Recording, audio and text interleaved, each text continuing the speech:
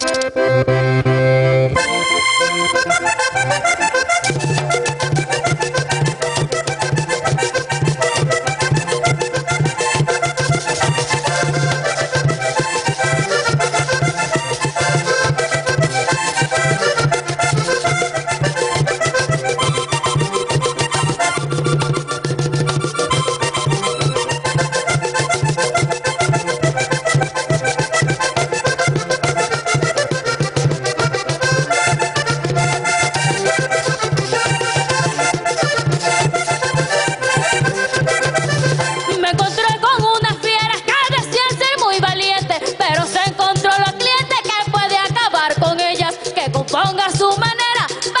Inteligente, para que